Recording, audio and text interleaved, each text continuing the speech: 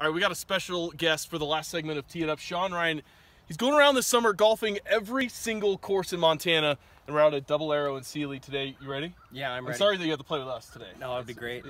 number number 96 of this 96. trip so far. All right, let's make it memorable. The irony of playing between a Sean and a Ryan when you are. Sean. exactly. That's a remarkable Exactly. thing.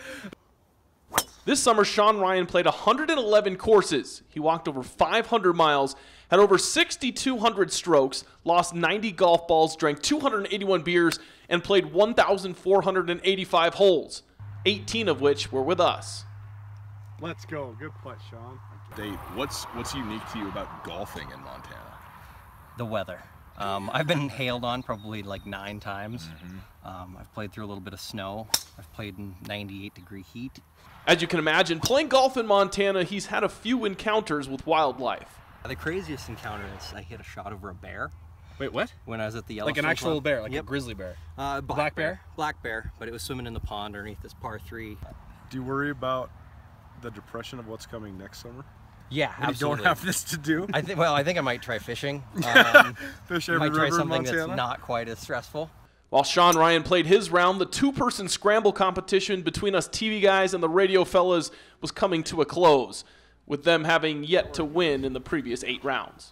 Hit it hard. I don't care where it ends up. Just make great contact and smoke show. It's in. We're up four shots with like uh, seven holes to go. Yeah, we're, we're folding under pressure. The unknown. We're not hard to deal folding. We're not good. There's it's just the reality. But ESPN had a glimmer of hope, down four with two to go until this happened.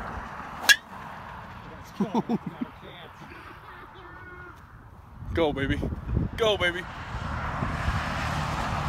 It's on!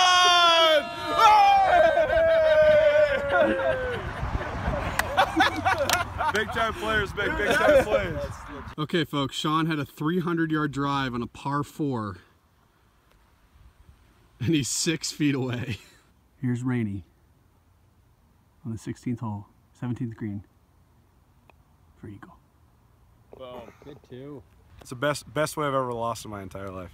Shaun Rainey with a two on a 300 yard par four. Amazing. It's actually a 400 yard par four, but he cut the edge and made a deuce with a six foot putt. Sorry, fellas, maybe you could beat us next year, but probably not.